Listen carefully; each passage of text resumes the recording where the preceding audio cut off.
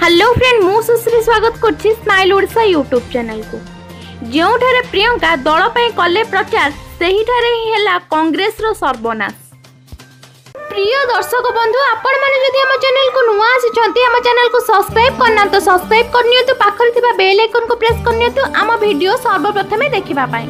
କଂଗ୍ରେସ ଅଧ୍ୟକ୍ଷ ରାହୁଲ ଗାନ୍ଧୀଙ୍କ ଭଉଣୀ ପ୍ରିୟଙ୍କା ଗାନ୍ଧୀଙ୍କୁ ପୂର୍ବ ଉତ୍ତରପ୍ରଦେଶର ପ୍ରଭାରୀ କରାଯାଇଛି। ତେବେ ଚଳିତ ନିର୍ବାଚନରେ ପ୍ରିୟଙ୍କା କଂଗ୍ରେସ ପାଇଁ ଟ୍ରମ୍ପ କାର୍ଡ ସାବ୍ୟସ୍ତ ହେବେ ବୋଲି ଅନୁମାନ କରାଯାଉଥିଲା। ସେ ମଧ୍ୟ ଦଳ ପାଇଁ କାମରେ ଲାଗି ପଡ଼ିଥିଲେ। କିନ୍ତୁ ନିର୍ବାଚନର ଫଳାଫଳ ଦେଖିଲେ ଜଣାପଡ଼ୁଛି ପ୍ରିୟଙ୍କା ଦଳରେ ଆସିବା ପରେ ଲାଭ କମ୍ କ୍ଷତି ଅଧିକ ହୋଇଛି ବୋଲି। ଯେଉଁ ସ୍ଥାନକୁ ପ୍ରିୟଙ୍କା ନିର୍ବାଚନ ପ୍ରଚାର କରିବାକୁ ଯାଉଛନ୍ତି ସେହି ସ୍ଥାନରେ କଂଗ୍ରେସର ସର୍ବନାଶ ଘଟିଛି ବୋଲି ଶୁଣିବାକୁ ମିଳୁଛି। ତେବେ ଏହା ଆମେ ନୁହେଁ ଲୋକସଭା ନିର୍ବାଚନର ଫଳାଫଳ ହିଁ କହୁଛି। ଉତ୍ତରପ୍ରଦେଶରୁ ନେଇ ପଞ୍ଜାବ ଏବଂ ଦିଲ୍ଲୀର ପ୍ରତ୍ୟେକ ସ୍ଥାନରେ ଏଭଳି ସ୍ଥିତି ଉପୁଜିଛି। ପ୍ରିୟଙ୍କା ନିର୍ବାଚନ ପ୍ରଚାର କରିବା ପରେ ଜଣେ ପରେ ଜଣେ ନେତା ପରାଜୟ ବରଣ କରିଥିଲେ। ପ୍ରିୟଙ୍କା ଉତ୍ତରପ୍ରଦେଶର ବାରଟି ଆସନ ପାଇଁ ପ୍ରଚାର କରିଥିଲେ ଯେଉଁଥିରେ କଂଗ୍ରେସକୁ ଏଗାରଟି ଆସନରେ ପରାଜୟ ସାମ୍ନା କରିବାକୁ ପଡ଼ିଲା।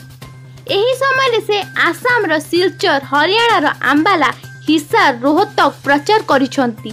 ସେ ଦିଲ୍ଲୀର ମଧ୍ୟପ୍ରଦେଶ ଇନ୍ଦୋର ଏବଂ ହିମାଚଳ ପ୍ରଦେଶର ମଣ୍ଡିରେ ମଧ୍ୟ ପ୍ରଚାର କରିବାକୁ ପହଞ୍ଚିଥିଲେ। କିନ୍ତୁ ଦଳକୁ ସବୁ ସ୍ଥାନରେ ନିରାଶ ହେବାକୁ ପଡ଼ିଥିଲା।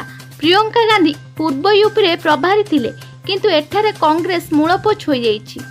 କଂଗ୍ରେସ ଗଡ଼ କୁହାଯାଉଥିବା ଆମେଥିରେ ମଧ୍ୟ ଦଳ ଶୋଚନୀୟ ଭାବେ ପରାଜୟ ବରଣ କରିଛି। ଏତଦ୍ ବ୍ୟତୀତ ସେ କୁଶୀନଗର କାନପୁର ଫତେହପୁର ଝାନ୍ସୀ ପ୍ରତାପଗଡ଼ ସୁଲତାନପୁର ଏବଂ ବସ୍ତି ପାଇଁ ଜୋରସୋର ପ୍ରଚାର କରିଥିଲେ କିନ୍ତୁ ଫଳାଫଳ ଦେଖିବାକୁ ଗଲେ ଜିରୋ।